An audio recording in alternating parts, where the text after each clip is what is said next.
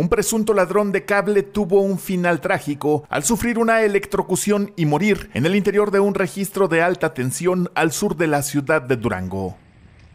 La víctima es Ángel Sergio RB, de 40 años de edad, cuya defunción ocurrió el martes por la tarde a un costado del canal de riego que bordea el fraccionamiento Nuevo Durango 1, en cuyas espaldas fue localizado. Según los datos recopilados, el ahora Oxiso, que tenía su domicilio en el fraccionamiento Las Nubes 2, ingresó al registro con cableado energizado con 13.000 voltios con la intención de robar parte de este. Sin embargo, un mal movimiento le hizo sufrir una descarga que no solo le habría quitado la vida de forma instantánea, sino que además provocó la calcificación prácticamente total de su cuerpo. Cuando llegaron al lugar los cuerpos de emergencia, la víctima ya había fallecido, por lo que nada se pudo hacer para salvarla.